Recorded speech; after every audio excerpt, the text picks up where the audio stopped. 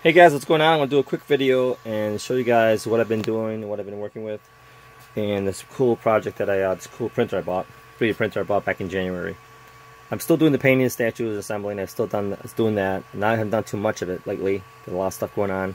Yeah guys, this 2020 has been kind of crazy already, huh? Crazy year. But anyway, I transitioned a little bit from painting assembling uh, statues, printing my own kits basically, and printing some stuff. So I bought a 3D printer my friend of mine uh, introduced me to this back in, uh, January. He actually mentioned about a year ago, before January, a year ago from January, and um, said you gotta get 3D printing, you gotta check it out. So I figured I'd check it out, you know, looked into it, and I bought one finally in January. And this is the Ender 3 that I picked up on Amazon for about 210 bucks or so at the time. Not bad, really good price, and it's a great printer. Made some modifications on it. Built this drawer, actually printed this drawer setup here, enclosure in two drawers. There's a panel under here, panel cover for this panel here. I uh, printed out this little V8 blower scoop with the plates actually move and functional. The only thing I didn't like about this, one of the things I didn't like I should say, is the SD card. It was a small mini card about its size right in there, a little green one there. Small. It came with this little adapter, USB port adapter. So the USB would go into the computer, take the card out, and put it in the bottom there. Bit of a pain, so I got one of these little adapters. The micro SD card adapter to go into this adapter here. And printed a housing, one adapter, printed housing to put the adapter in with the cable underneath the machine under here. So that took care of that problem. But also printed up um, extruder knob, extruder knob, a uh, couple pulleys for the filament to come in and maintain it from going up all, all over the place, kind of guide it better. Um, also, this little toolbox back here was on the power supply. Holds all the wrenches, the scraper, and the pliers in the background, and obviously the handle down there. That's the handle for the pliers. So pretty well contained, it's all good. Um, what else did we plan on? this? Also, I did change the extruder, bought the metal one, the uh, assembly here. It's plastic on here, still the old plastic one just in case. To get the Capricorn tubing as suggested by some friends, um, some guys in the forum, my friend also suggested that one of the first upgrades he did. So, going on with this, I was printing PLA. At times I was having an issue with the prints lifting up on this side. That was the temperature on the bed, but I raised the temperature, still the issue is always on this side in this corner. Sometimes in the back corner, mostly here.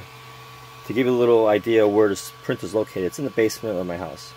This is the only room I had that can actually work, do my hobby in. So, it was an office, but I made it into a, my hobby room slash office. Now it's mostly hobby room. So there's the draft that comes from the door. It's on my left. Okay. Um, so I went to a couple forums and asked some questions, any suggestions of what I could do to prevent that. They asked where it was located. Is there a draft coming in? It says, well, I keep the door open to my left because once printing, these printers don't print like two hours and you're done. Sometimes prints go for 24 hours, sometimes longer than that. You know, I've, I've seen guys post that their printer's been going for five days on one project. Depends on uh, how good quality print you want how big the project is. So, with that said, I put a board here as I suggested to try it out, and sure enough, the prints were coming out better. So I had a little issues because probably air is getting around it, but the board being up here helped that problem. So that was kind of with the you know direction I was going. Because okay, let me get an enclosure. So that would solve that problem with the draft, right? So I picked up a Creality enclosure, pretty cool, about a hundred bucks or so with uh, from Amazon. Really nice, uh, pretty cool, easy to assemble, piece of cake. Star printing, was having issues with my nozzle clogging.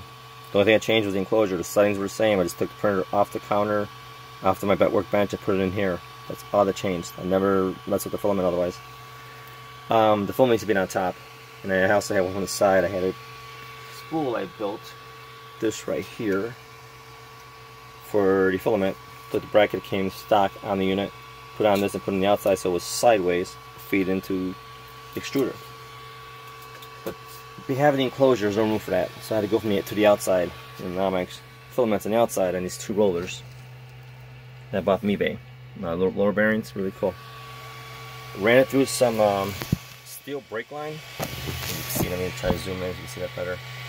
See right there? I think it's, I think it's quarter inch brake line. Bent in a 90. The metal bracket underneath is a longer bracket that I downsized. Notched this so it wouldn't hit the side there. It's got some play in it also. In case, you know, the flip back and forth, it still has that play. So it's not rigid. And sometimes this printer kicks back and so on and so on. Those who are printing know what I'm talking about.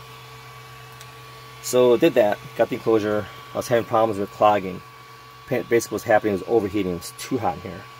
Then I realized there is a spot on top here.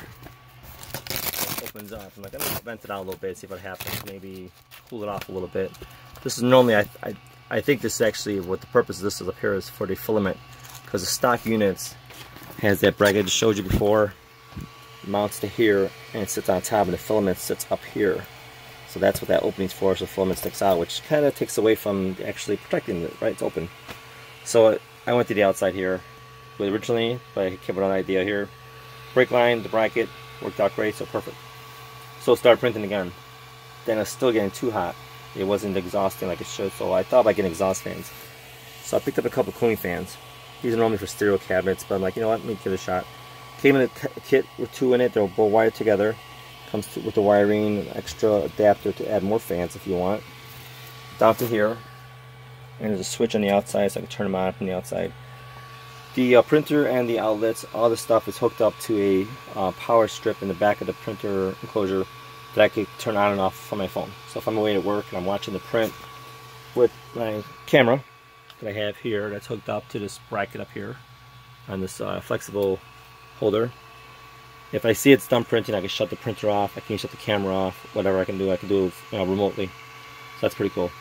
so, print out these uh, little panels. show you this. A couple of these housings for the fans. They seem better from the outside. That's the enclosure. So they worked out great. Started, uh, let me run this real quick. Oh, perfect. Three speeds, and it's quiet. It's not really loud or anything, so it works out great. So, did that.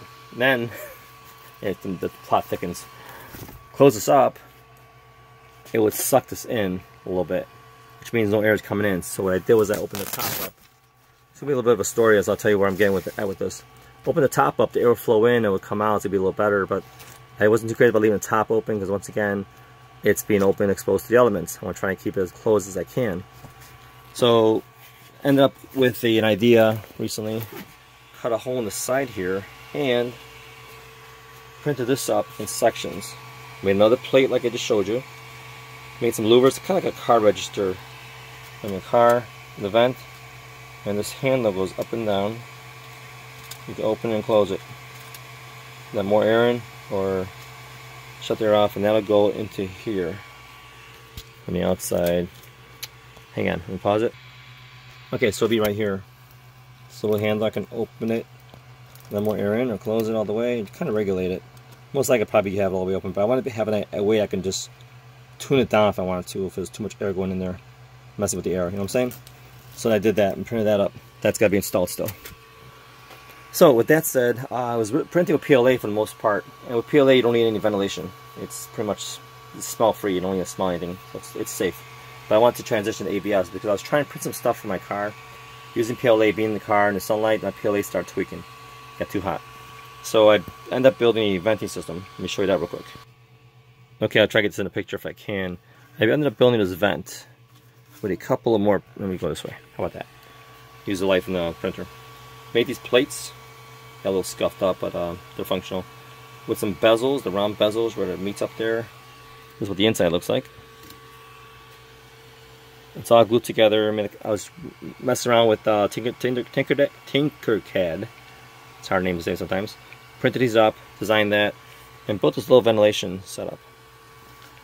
Put a magnet right here, and I'll show you why that magnet's there.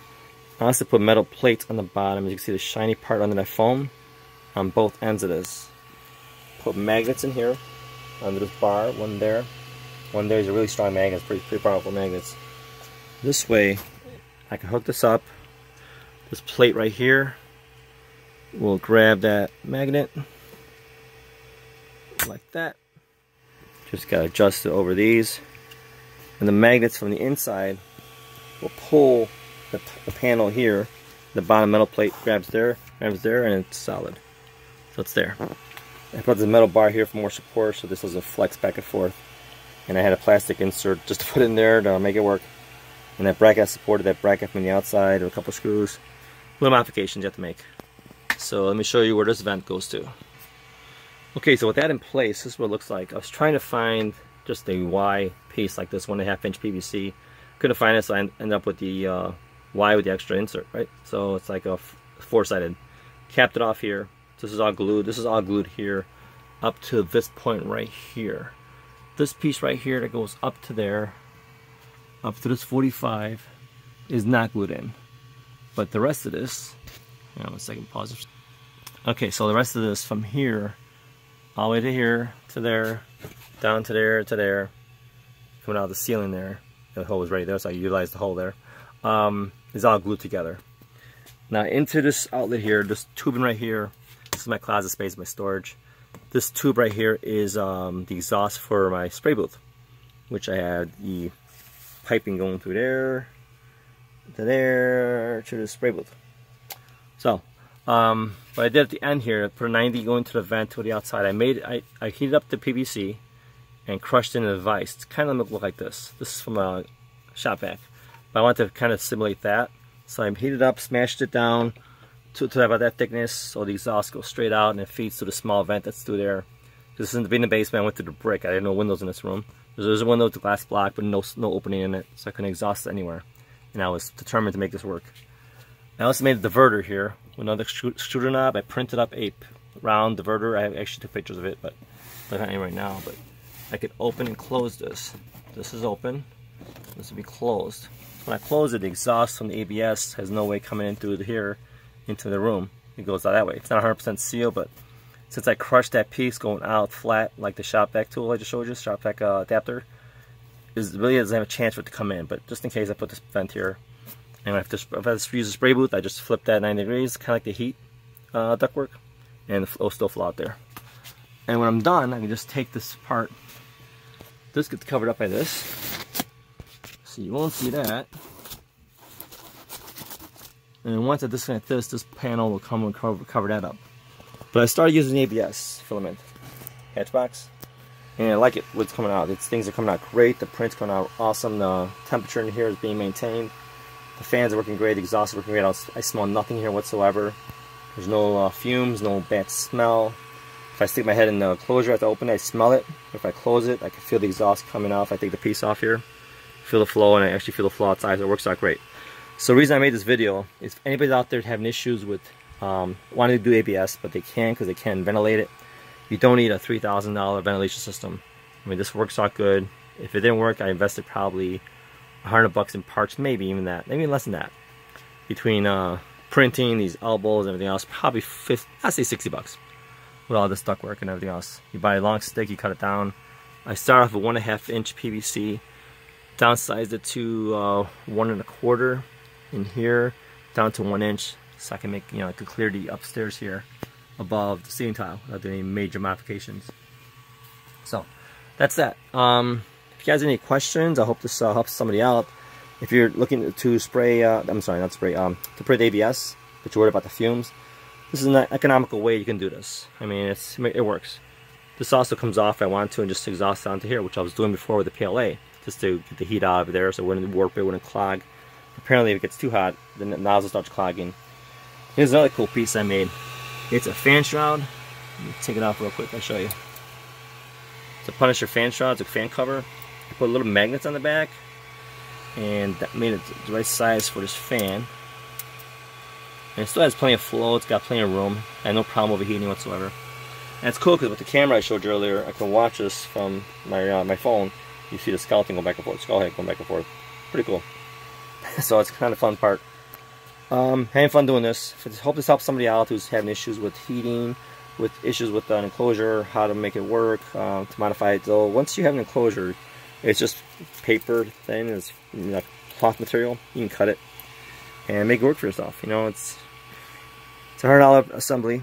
It's easy to assemble. The tubes come in uh, to the small box, easy to assemble, put together, and you're good to go. But I'm glad I went this route. And this was a little tricky figuring out how I was going to vent it out there, but made it work. It works out really good. So I think I'm going to ABS uh, filament from now on. I may still tinker with PLA. I have like six rolls of PLA, different colors, so I have to use it up for the most part, I think I'm going to start using ABS. It's stronger, uh, better resistance for the heat. Because the first pieces I made for my car were PLA and were tweaking in the sun. Now with ABS filament, I made a cup holder and a tray for inside the car with mag magnets underneath the cup holder so I can ma magnetize in place, move if I need to. And uh, works out great. Direct sunlight, doesn't affect it one bit, so it's perfect. And it's been like 90 plus degrees here in Chicago the past week and a half. And cars outside all the time with these parts in it, so working out great. Alright, so I know this video went a little longer than expected, like 15 minutes already. But I figured I'd show you guys what I was doing with this, uh, a couple of couple ideas you can use. So uh, if you have, you know, little ambition, you can make it work. So these things work pretty cool. Turn the fans on if I need to. And works out awesome. Alright guys, hope you enjoyed the video. Hope it helped you out a little bit. If you have any questions, let me know. And um, take care. Thanks.